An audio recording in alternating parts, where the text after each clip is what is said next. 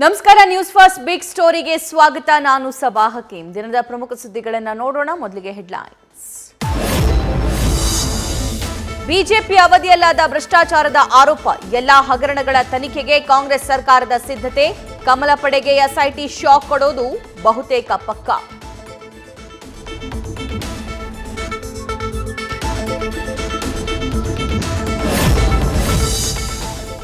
ಲೋಕಸಭೆ ಎಲೆಕ್ಷನ್ಗೆ ಶತ್ರುವಿನ ಶತ್ರು ಮಿತ್ರನಾಗ್ತಾನ ಬೆಂಗಳೂರು ಗ್ರಾಮಾಂತರದಲ್ಲಿ ಡಿಕೆ ಸುರೇಶ್ ಸೋಲಿಸಲು ಬಿಜೆಪಿ ಜೆಡಿಎಸ್ ಮೈತ್ರಿಯಾಗುತ್ತಾ ತೆನೆ ದೋಸ್ತಿಗೆ ಕಮಲ ನಾಯಕರಲ್ಲೇ ಒಲವು.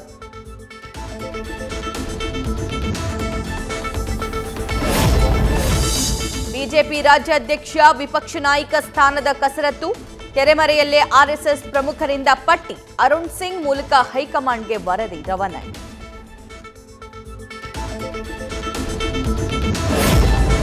ಎಲೆಕ್ಷನ್ ಮುಗ್ದಿದೆ ಅಂತ ಸುಮ್ಮನಾಗಬೇಡಿ. ಸಿಎಂ ಸಿದ್ದರಾಮಯ್ಯರನ್ನ ಟಾರ್ಗೆಟ್ ಮಾಡಿ. ಹೈಕಮಾಂಡ್ ಆದೇಶ ನೀಡಿದ್ರು ಹಿಂದೇಟು ಹಾಕ್ತಿರೋ ಕೆಲ ಬಿಜೆಪಿ ನಾಯಕರು.